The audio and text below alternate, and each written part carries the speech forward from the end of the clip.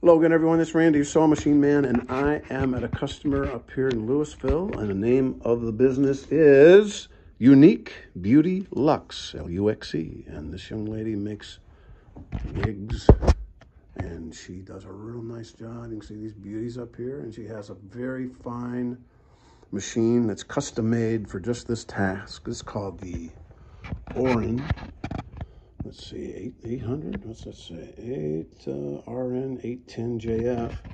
And it has what would be a simulated noggin right here. So you can put your work on it and sew on it there. So it's a specialized machine. I guarantee you, you won't see many of these, but it's a real nice machine.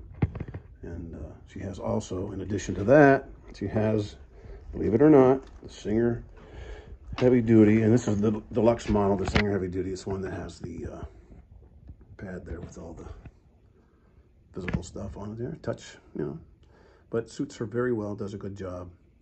And you can see she has all her stock up here. She's very organized, runs a real nice operation, and does a real good job.